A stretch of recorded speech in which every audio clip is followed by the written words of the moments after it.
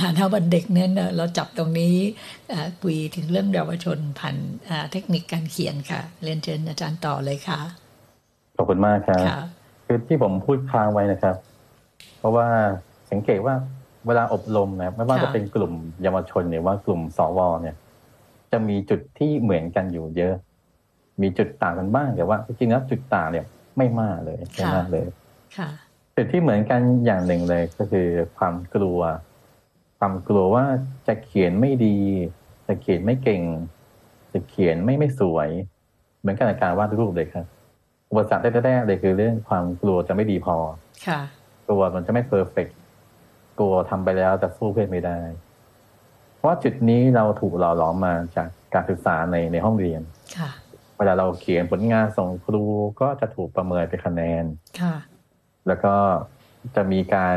ตัดสินต่อว่าเรื่องลายมือบ้างเรื่องนู่นเรื่องนี้บ้าง โดยที่ยังไม่ได้เสริมสร้างสิ่งที่เรียกว่า ความเชื่อมั่นในตัวเอง หรือว่าการเห็นคุณค่าในตัวเอง พอมาไม่มีฐานตรงนี้เนี่ย เด็กก็ไม่กล้าที่จะเขียน ไม่กล้าสร้างสรรค์ผลงาน และกลายว่าเรื่องการเขียนในการใช้ศิลปะเนี่ยจะไปตกอยู่กับเด็กที่มีความเก่งแทนจะทำให้เด็กบางส่วนมีปมด้อย อันนี้จะเป็น รียกว่าเหมือนกันทั้งเด็กและผู้ใหญ่ เวลาเริ่มต้นจัดกิจกรรมที่เกี่ยวข้องกับการวาดหรือการเขียนเนี่ย เริ่มแรกคือต้องรื้อหรือมุมมองความเชื่อต่อการเขียนหรือศิลปะไปก่อนเพื่อเพื่อให้เขารู้สึกว่าเขากล้าทำโดยที่มันไม่ต้องดีก็ได้เขาสามารถทำสามารถเขียนหรือว่าโดยที่มันไม่ต้องเป็นผลงานที่สูญแบบก็ได้ มันไม่ใช่การวาดหรือการเขียนในห้องเรียนคนละอย่างกัน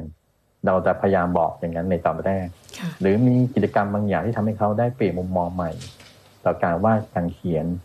หรือได้ระบายความสึกออกมาว่าตอนที่เขาเรียนหนังสืออยู่เนี่ยเขามีประสบการณ์ยังไงบ้าง กับเรื่องของศิลปะหรือเรื่องของการเขียนหนังสือ ก็ทำให้เขาได้เหมือนกับได้เห็นว่าเพื่อนๆคนอื่นก็เหมือนกันเขามีหลายคนที่โดนครูว่าว่าลายมือตัวเองไม่ดีเขียนหนังสือแล้วอ่านไม่รู้เรื่องวาดรูปแล้วดูไม่ออกว่าคืออะไรเพราะเราเขียนว่าไม่ใช่เป็นเรื่องของตัวเองอย่างเดียวตัวเองก็เป็นเหมือนกัน แล้วก็ค่อยๆจูงใจเห็นว่า การวาดหรือการเขียนแบบนี้มันเป็นอีกแบบหนึ่งเราไม่เน้นการสร้างผลงาน แต่ว่าเราเน้นการสร้างสรรค์หัวใจตัวเองเราว่าเราเขียนเพื่อกลับมาดูแลใจตนมาฟังใจตัวเอง ไม่ใช่เพื่อให้ใครยอมรับ แต่เพื่อให้เราได้ยอมรับตัวเอง ไปเริ่มต้นจากการปรับมุมมองความเชื่อก่อนอันนี้คือเหมือนกันทั้งเด็กทั้งผู้ใหญ่ จะต้องเริ่มต้นจากอันนี้ก่อนไม่งั้นถ้าเราให้โจทย์ไปเขาก็จะกลัวว่าจะเขียนยังไง จะพยายามที่จะคิดโครงเรื่องก่อนปรุงแต่งเรื่องราวรุ่นนี้นั่น มันจะที่ออกมาจากใจเขาจริงๆมันจะพยายามทำให้เป็นผลงาน มากกว่าที่จะทำแล้วเพื่อให้เขาได้ยอมรับตัวเองในทุกด้าน ทั้งสิ่งที่ดีและไม่ดี สำคัญคือเราต้องสร้างพื้นที่ปลอดภัย ให้ให้กับเด็กๆหรือผู้ใหญ่ที่จะมาทำกิจกรรม